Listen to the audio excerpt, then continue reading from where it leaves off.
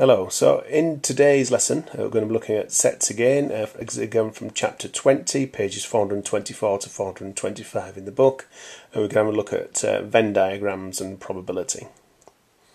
So if you remember from last time uh, we looked at notation, just a few little notation elements to, to check up on, uh, use of uh, those brackets when listing elements in sets, capital letters for sets, um, intersection and union um, with those symbols, um, a null set, an empty set there with uh, like a, a, zero with a line through it, uh, and you can see the universal set there, and so on. So we're going to have a look at this question here on drawing a Venn diagram. So on the left hand side of the screen there you can see that uh, there's hundreds of students uh, were asked what their favourite sport was uh, in PE and it goes through and says six students liked uh, all three sports, 24 students liked hockey and tennis, 29 football hockey, 20 football and tennis, 59 students like hockey, 17 students like only football, 4 students had no preference. And we're going to put all that information into that Venn diagram there. So first of all, just setting up the Venn diagram, uh, we've got uh, the three overlapping circles represent it, and clearly I've put already there the, the number in the, the whole set is 100.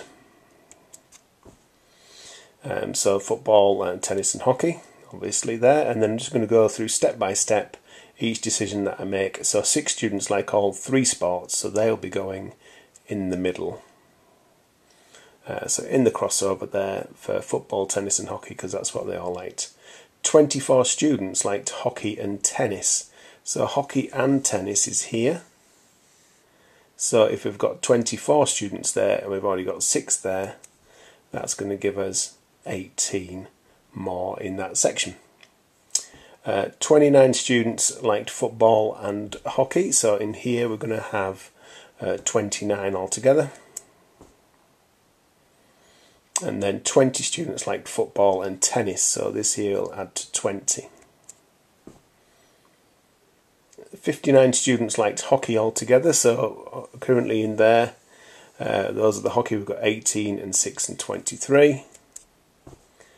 So 12 more there uh, to make up the number. 17 students like only football, so only football is within football but just there. 17 students there. Four students had no preference at all, so they're on the outside. And then we're just going to use the fact that there's 100 altogether to work out the final value there. So we've got six.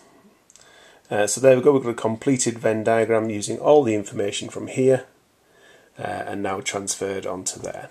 And the next thing we're going to be able to do is then find some probabilities using our Venn diagram. So, uh, the probabilities we're going to consider, we've got an intersection of football, tennis and hockey, uh, the union of football, tennis and hockey, uh, looking for uh, not football and then not in the union and then they choose only tennis. So going through each one, um, if it, they want um, football, tennis and hockey all together, obviously we've got six people uh, out of 100, so 0.06. Um, in the union of all three sets, uh, we've got 0.96 because there's 96 there out of 100. Uh, not football um, is um, 0.4 because uh, um, for football um, there is uh, 60 people, so 40 people on the outside. So 40 out of 100 is 0.4 and then not um, in the union everything, so that's only 4 of 100, 0.04. And finally, choose only tennis is uh, 0.06. Um, so that's how we use our Venn diagram there to work out the probabilities. Um, so we use the full total and then the, the values within each section. So that should give us enough to think about, uh, and then we can go on and try and complete the questions uh, from chapter 20.1a on page 425. Good luck.